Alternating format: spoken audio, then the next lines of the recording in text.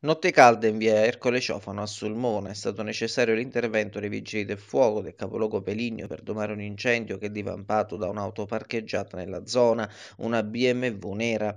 A fare la mara scoperta sono stati i residenti che hanno allertato immediatamente gli uomini del 115 e ora tocca ai carabinieri della stazione di Sulmona, coordinati dal capitano Florindo Basilico, far luce sulle cause che hanno provocato l'incendio. Tutte le ipotesi al momento restano percorribili. Ciò che i militari escludono a priori è un eventuale collegamento dell'episodio di via Ciofano, che risale a questa notte, alla vicenda dell'altra auto recuperata completamente bruciata località incoronata nei giorni scorsi. Anche in quel caso sono ancora in corso le indagini di polizia e carabinieri.